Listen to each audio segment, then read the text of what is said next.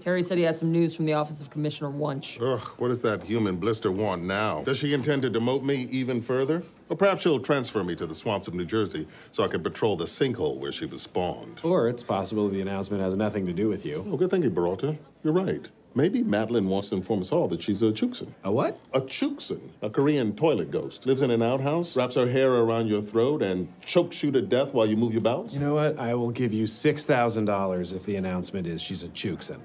Okay, everyone, I have some news. That Madeline Wuntch is a Korean toilet ghost? Boring. We already knew that. Madeline Wuntch is dead. Say what now?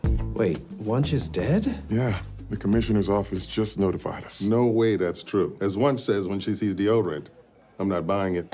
Sir, she's dead. Oh, Terry, zombies can't die. This is some sort of scam. If she were dead, we would be hearing the sounds of children singing in the streets.